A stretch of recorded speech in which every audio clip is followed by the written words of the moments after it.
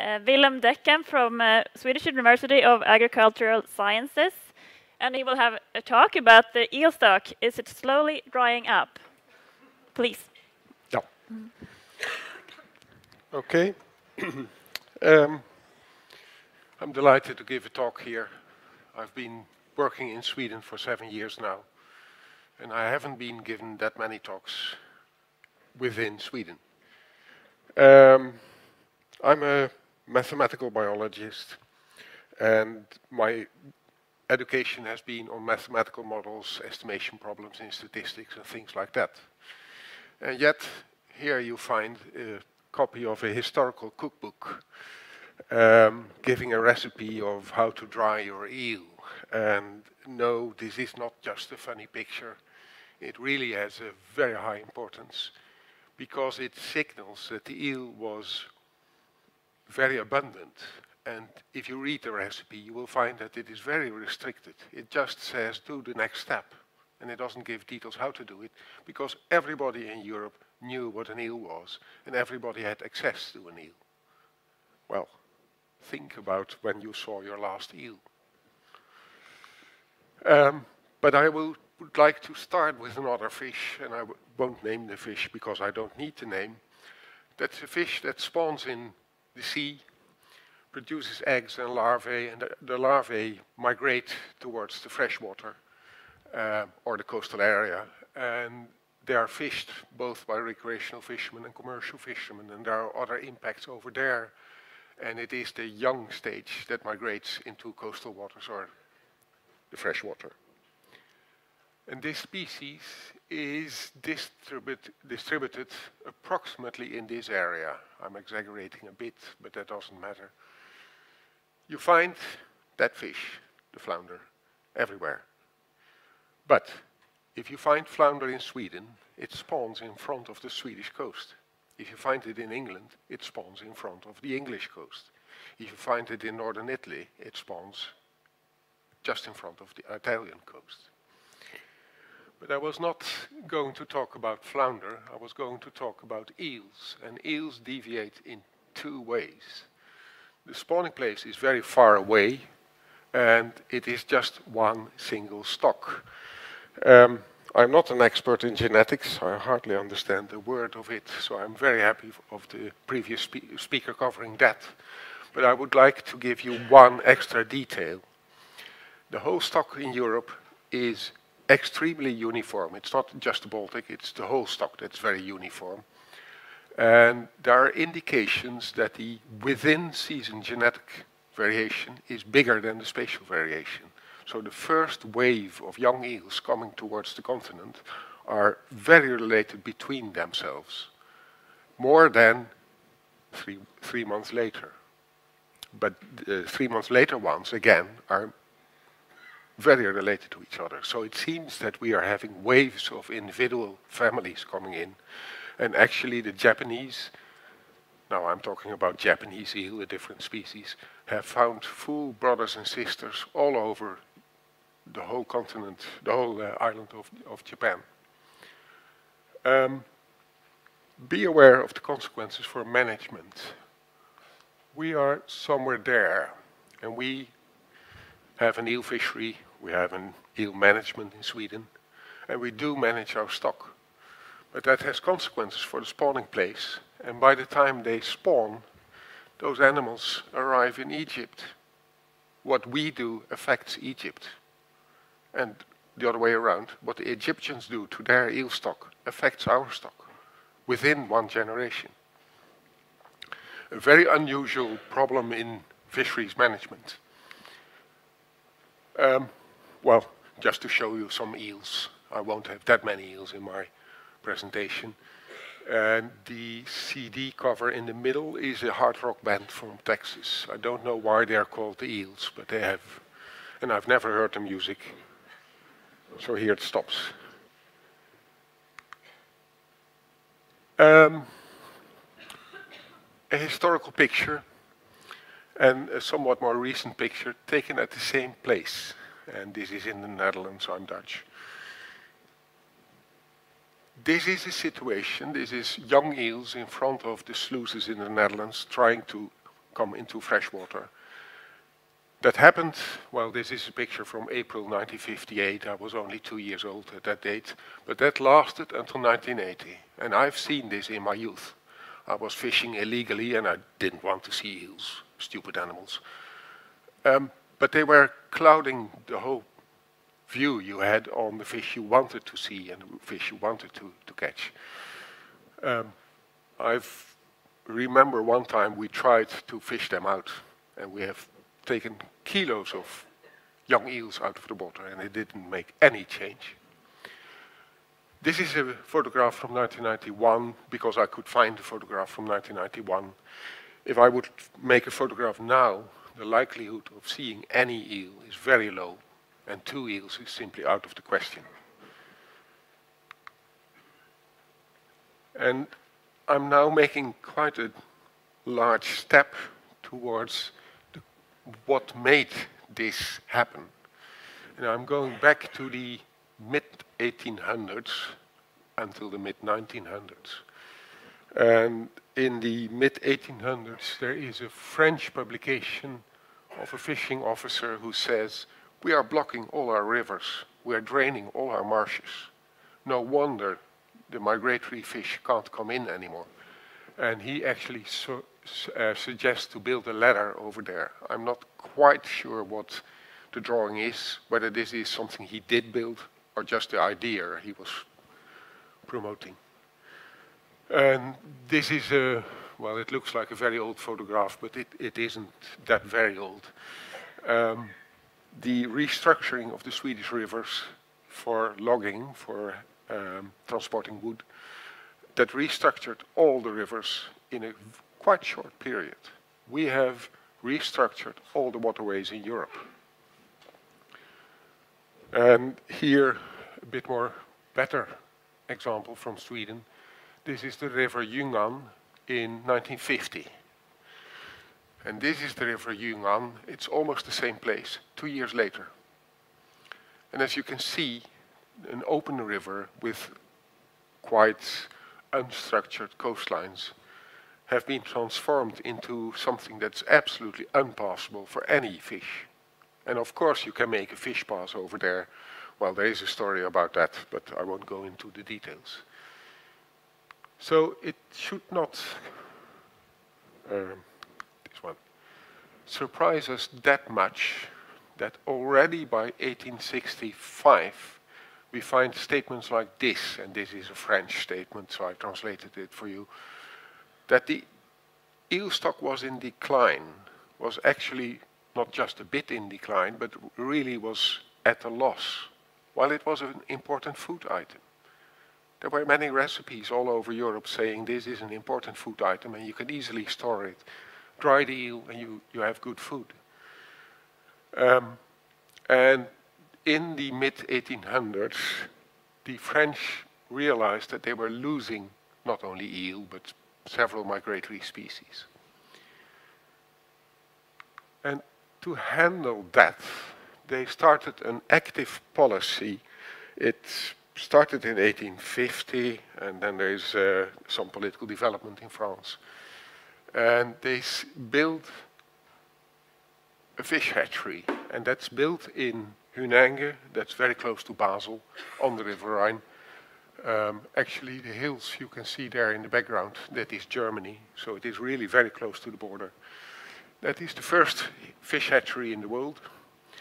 And the bottom photograph is a modern photograph. The building still exists. And they were growing a lot of different species there. And don't think this was a small hatchery. This was in the millions.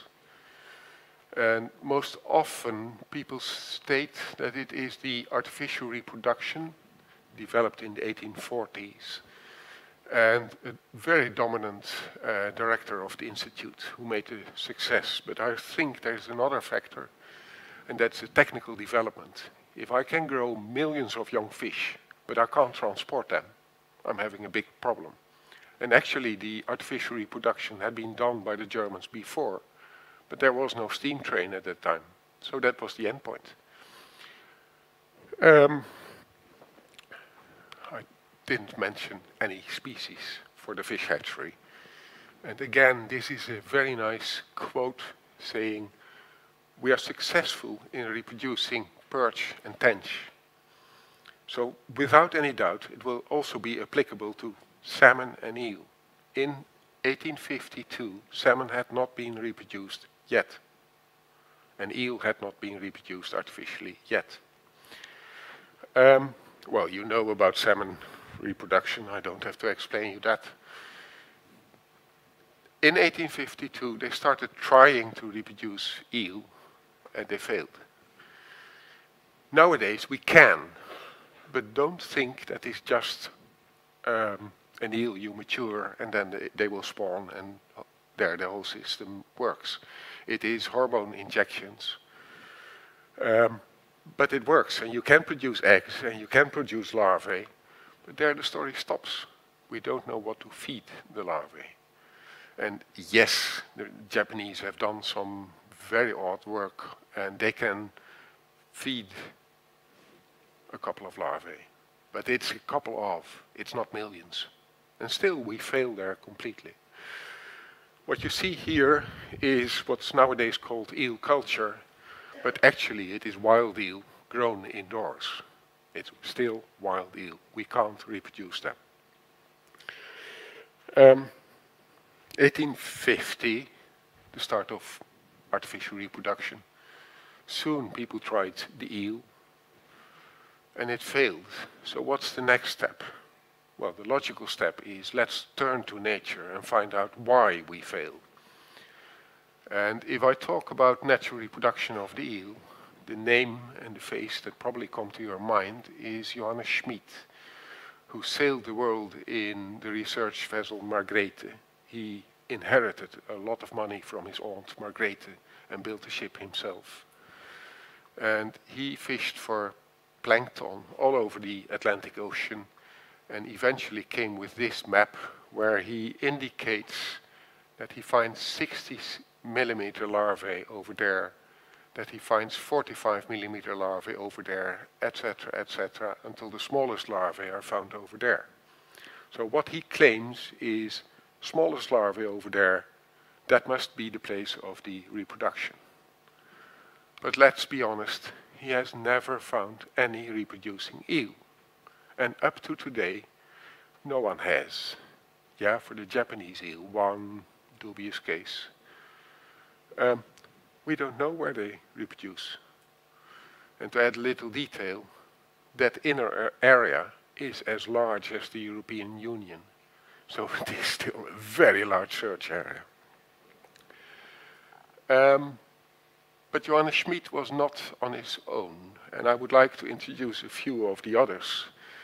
Syrski was a student from Vienna, he was an Austrian, and he studied in Trieste. Trieste is now um, on the border between Italy and, what is it, Slovenia. Um, it is Italian, but at that time it was an Austrian city. And he studied there, and he found the female reproductive organs. And a few years later, another student from Vienna, also going to Trieste and finding the male reproductive organs. Syrski is quite known for it. Freud is not. He got frustrated for some reason. He left Trieste, went back to Vienna, and became a psychiatrist over there. Um, and then another step.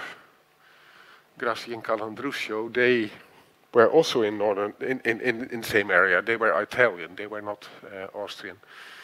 And what they found out was that a strange fish found in the ocean actually turned out to be the larvae of the eel, the Leptocephalus. They grew it into a small eel. They are not very famous for that fact because they started fighting each other. Um, Grassi was an arrogant jerk and Calandruccio was a simple sod and their characters didn't combine.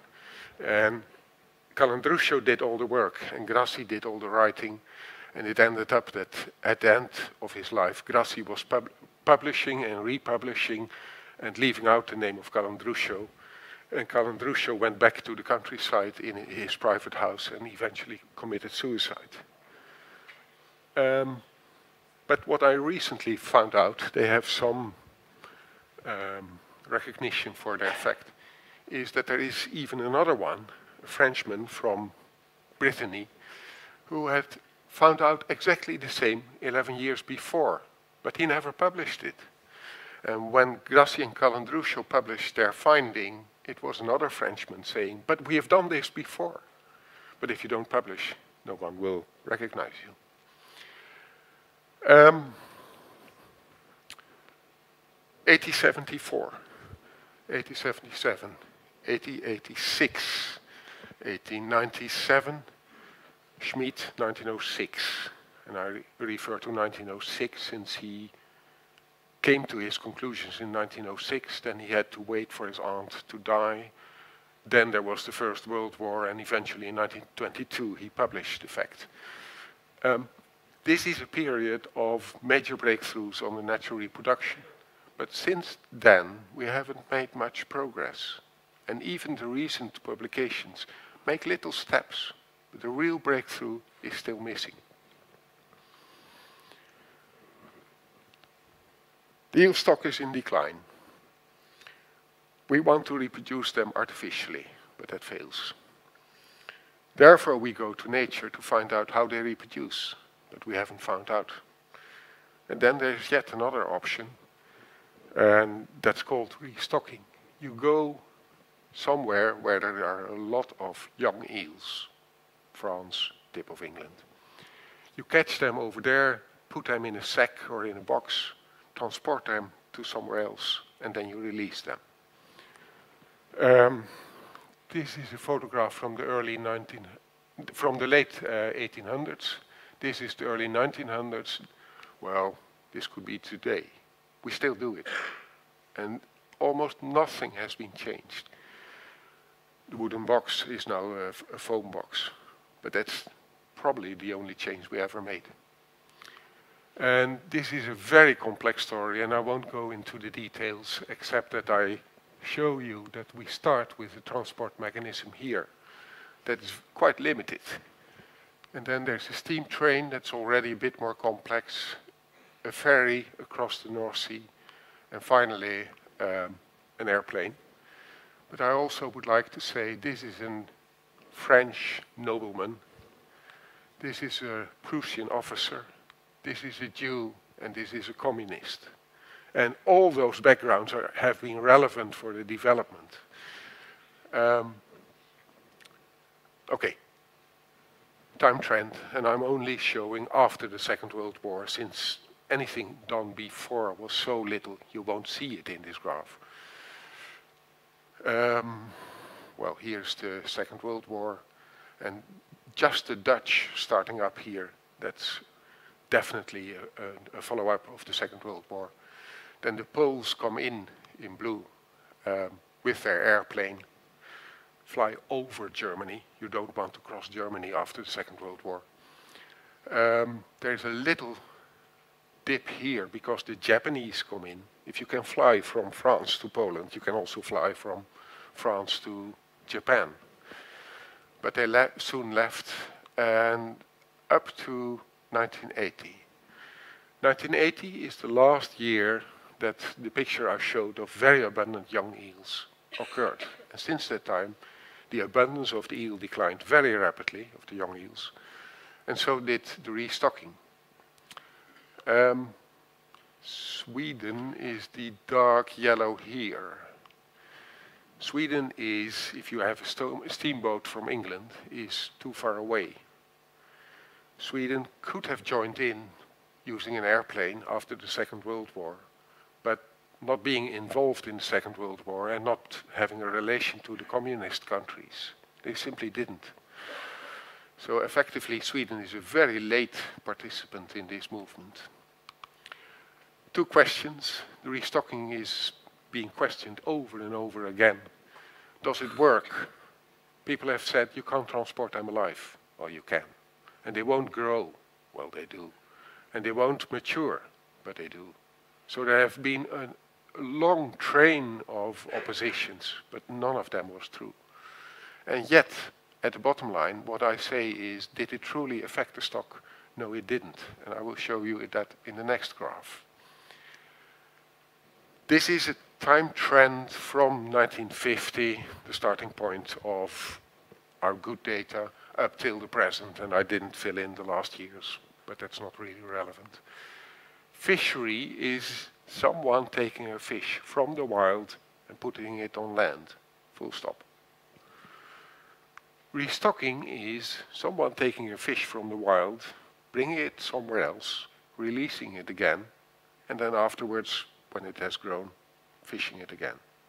So that is human intervention. It's not a natural stock, but it is in outdoor waters.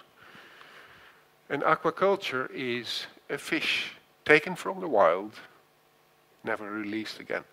It's grown indoors.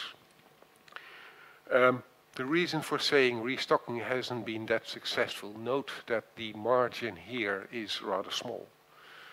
Yes, of course, it has affected the stock and it has affected the fishery, but it's simply not a dominant factor. And note that the fishery has been in decline since the mid-1960s. This is a revival after the war. Before the war, it was sky high. We have been a seen a declining stock throughout the last century. Um, and the average decline since the mid-1960s is 5% per year. Second graph, that was the fishery. This is the young eel coming from the ocean, migrating to our waters, and the individual data series are stations all around Europe. It includes Italy, Spain, England, France, the Netherlands, Sweden. Um, and we split them into the North Sea and elsewhere because there's an impression that the North Sea does some things a bit different. Um, but if you very, look very carefully, it is just this hump that suddenly makes the North Sea drop down. And there are two reasons for that. Um, one is this one, that's the Ems in Germany. And the Germans were not allowed to import eels from France after the Second World War. So they fished their river like hell and got much more out of it than anyone else. But in 1965, they were allowed to import. A political decision after the Second World War, nothing more than that. And suddenly it drops, and when the stock starts to decline, the Germans give up very rapidly, simply because there's no need for them to fish that hard anymore. The second one is just me, me in person. All this fishery was done to collect a lot of eels. So if the catches were low, one would stop fishing, and you would have no low observations. When I came in office in 1985, I said, I do want to know the low observations. So I changed the whole setup of the registration process, and suddenly there is a lot of more of low observations. Um, that's how you take your measurements. Um, the point for showing this is in 1980, until 1980, it was more or less stable. There was no general trend. Then from 1980 onwards, it goes down by 15% per year. Note that I'm on a logarithmic axis. Otherwise, I couldn't show you the end. It would be all very close to zero. In 2009, an eel protection plan was adopted by the European Union. In 2009, the first eels were protected well, they still have to cross the ocean and they have to spawn there and then the youngsters have to come back. And lo and behold, it goes up. Exactly the time you would expect a change after the implementation of a protection plan.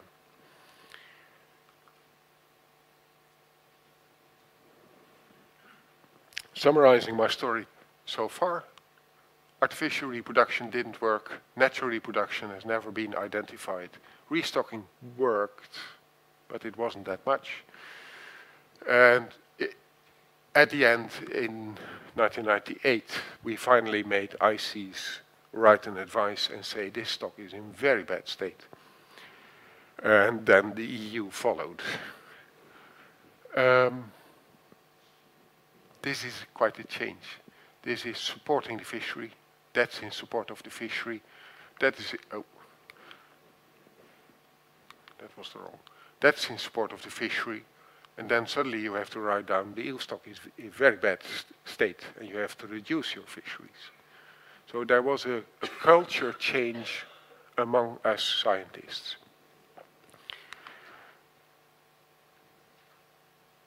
A few photographs of fishermen all around Europe. I won't go in any detail. Um, I could have shown you water management works, or cormorants, or any of the other impacts on the eel stock. The issue here is these are just three guys fishing together. And if you want to reach them, you have to go to them and you have to visit their local river. And sometimes the rivers are very, very small. And to, to talk to three fishermen, while there are 10,000 eel fishermen across Europe. If I have to handle them by groups of one or two or three at the time, it will take me years be before I've ever spoken to all of them. While they are the ones truly affecting the fishery. And as a consequence, we need to study who takes action. And what I'm first giving is the historical setup. And the historical management structure for the eel was rather simple. There was no management structure. This is a French fisherman these are from Italy, uh, Ireland, French, Swedish. They all fish for the same fish. They all use more or less the same gear. They share the market and they never talk to each other. Never ever do they meet. They talk almost the same jargon, but they, they don't communicate. Uh, and even stronger, here is a Swedish fisherman and here is a Swedish hydropower station. They talk exactly the same language. They live very close to each other. They affect the same fish. They didn't talk. So in the early 2000s, EU realized they had to do something. And in the eyes of the EU, this was a fisheries management problem. And, well, EU has handled fisheries management problems and has handled lots of fisheries management problems. So let's apply a standard approach. A closed season, a minimum legal size, a quota, etc., etc. Um, to make a long story short, that didn't work. And the reason is that these guys don't communicate to the European Commission. They hardly know what it is. But the other way around, the European Commission doesn't know the, these fishermen and they have no understanding of what, what they are doing. The distance between the top international level and the actual people in the field is by far too great.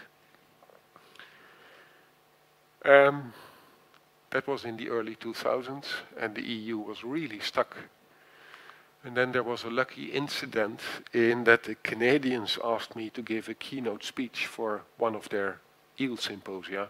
I think it was the first eel symposium. And the, well, I accepted the invitation, but then there was a hidden message to me, kick our managers in their ass. Okay, there you are as a middle-aged scientist and you have to kick foreign managers in their ass. So I didn't know what to do. And what I did instead was I focused on the European situation in theoretical terms and explained that to the Canadians. And that was read by the European Commission, and suddenly they saw a way forward. And the, the proposal was as follows. You give up on management measures at the top level. You just set the goal. We will, we want to achieve this, but you don't say how to do it. Then you have a middle le level of national management plans that have an obligatory goal. They can't choose their own goal, but they can choose their own implementation, how to make it happen. And in turn, these national governments, having a national management plan, they impose restrictive measures in the field. So it is a stepwise procedure. Well, that's what actually happened. 2007 was the political decision setting the goal. 2008 the planning, 2009 the implementation. That's uh, top down.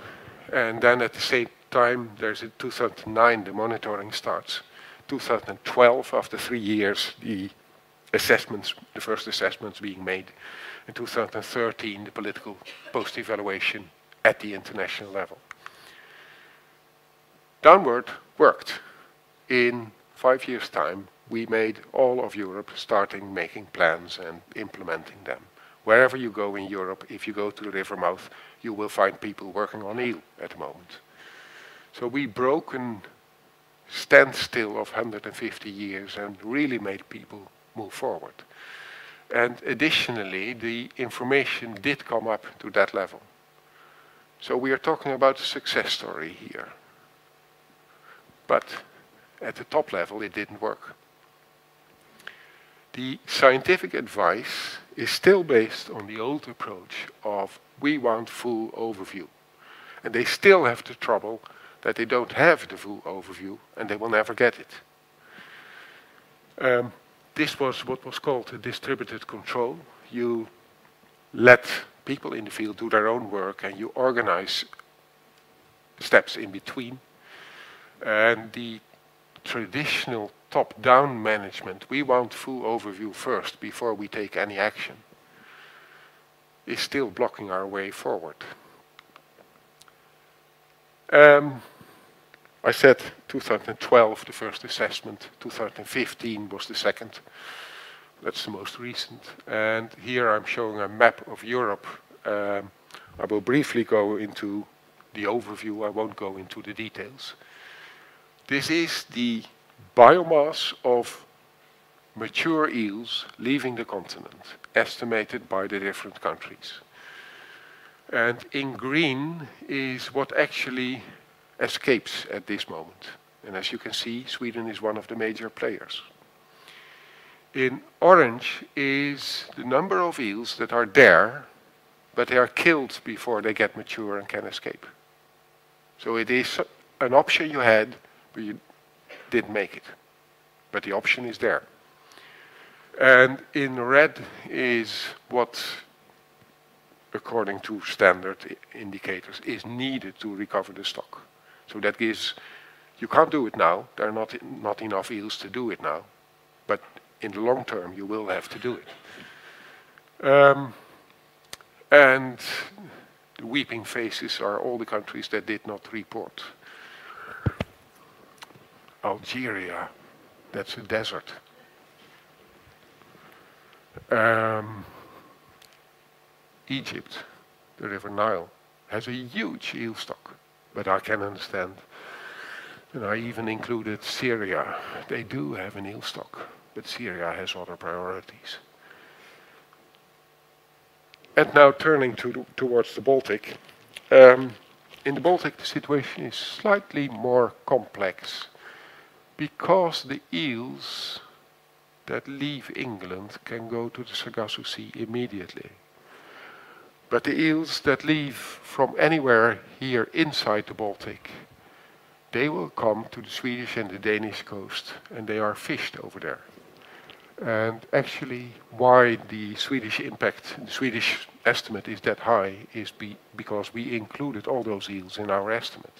We considered Sweden to be the whole Baltic. And of course that's not correct. Um, I'm not blaming anyone but myself. That's what we did but it's over-optimistic. At the same time, the Poles report that they are underachieving, but they have not even taken into account that Sweden is fishing their eels. It is just their national estimate. Sweden did the best we could, not on the west coast, and Denmark simply made no assessment. They didn't report. And they come away with that. So it's not that positive at all. Um, we have a problem. we have a way forward. We have broken the standstill of 150 years, and nevertheless, we're not making the right progress. And to analyze that, I will show you a bit of the results from a recent study I made on the sociology of the uh, decision processes. And I will explain them by three very simple settings.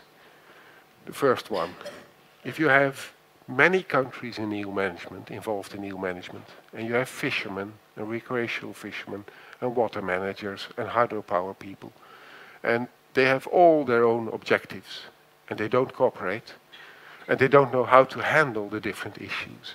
You end up in a situation which is called awkward drifting, and it is essentially nothing more than a very bad endpoint nobody wanted to have. There's nobody saying, I want to end in a, in a complete chaos. But that's what happened. Secondly, utopia. We now agree that eel needs protection. But we don't know how to do it. And we still have multiple players. And they all dream of one day the eel stock will recover. But actually nobody is taking adequate action. So it is a dream that can last forever. It will never be fulfilled. And finally, um, what the eel regulation, the, eel, the, European Eel Protection Plan, wanted to achieve was we agree on the objectives. We focus on the certainties. If you want to protect your eel, you know how to do it. There's no uncertainty there. There might be an uncertainty in the Sargasso Sea, but that's somewhere else. But there are still multiple players and they don't really cooperate very well. The countries simply don't cooperate. Look at in the Baltic. Half the countries are not reporting. The missing element is someone orchestrating. And for that you need scientific advice and you need European Commission and you need someone taking the lead and saying, okay guys, let's all work in the same direction. This little girl is essential. Without that, it will never work. So what I'm actually advocating is refocus scientific advice from the recovery, where it's focused now, the long-term development, to protection, something you can do immediately. We need the international feedback. If no one tells Denmark to make an assessment, they will hang on doing nothing. And in the Baltic, there is one country that volunteered as coordinator for EU management. But since 2010, nothing has been done. You volunteer as coordinator and then you do nothing. And of course, the existing protection plans have their shortcomings. I won't deny that. So, summing up, just in time. Um, biology is broadly understood. And yes, there are knowledge gaps, but they are far away. We know enough to protect this species. We have a history of over-optimistic attempts to reproduce artificially, to restock, to develop the fishery, but it was all over-optimism. We have a lot of impacts. We have a centennial decline and a decadal decline in, in the youngest. And one day you have to accept the status as it is and focus on protection rather than analyzing why it declined. Definitely the challenge is that it is a very small-scaled and scattered problem all over Europe. And you need to coordinate not only in the EU but also in the Baltic and even worldwide. But we have a, an effective governance structure for that, distributed control, where you do it in a stepwise via national management plans. And currently, the bottleneck essentially is we have a very uncommon problem. We have a very unconventional solution. And people are just conservative. And every step you see that people are slow in adapting the solution. And what happens at the bottom line is that we try to achieve something like this. Um, this is a dried eel. It's a New Zealand deal, but it is a dried eel. And because the coordination is failing, we end up in a situation like this. And there I stop.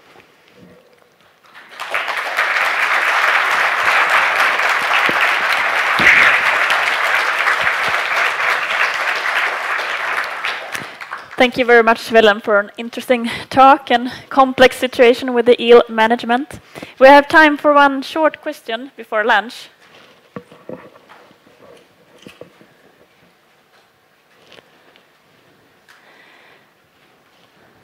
Any hands up? Okay. Yes. Ingrid. Ingrid.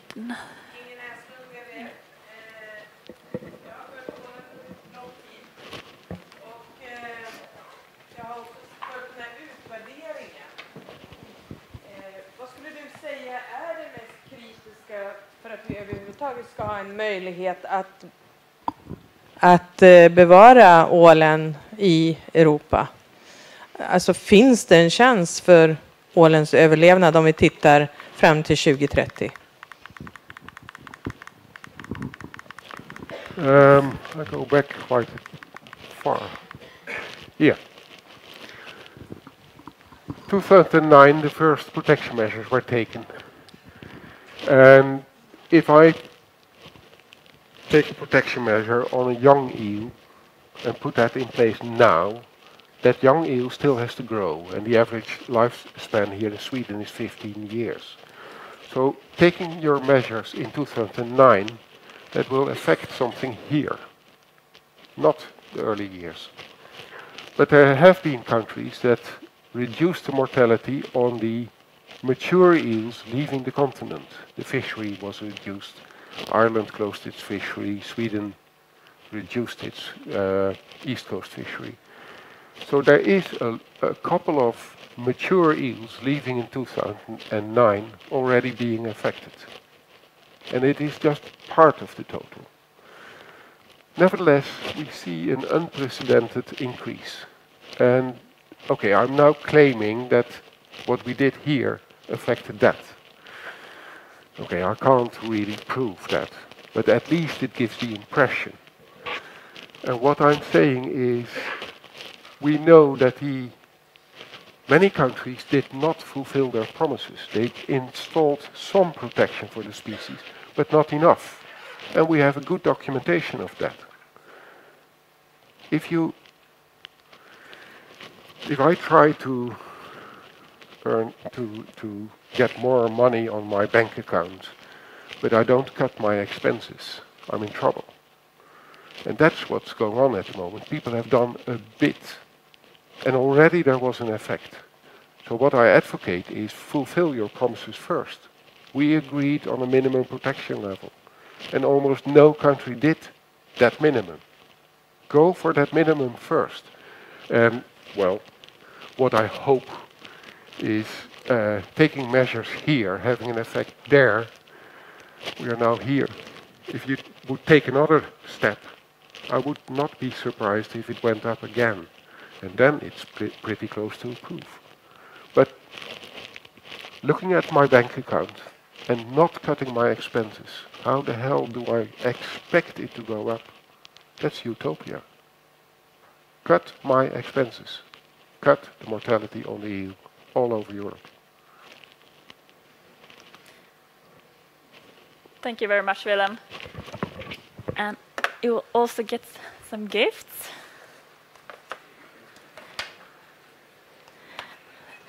Thank you very Okay. much. Yeah, thank you.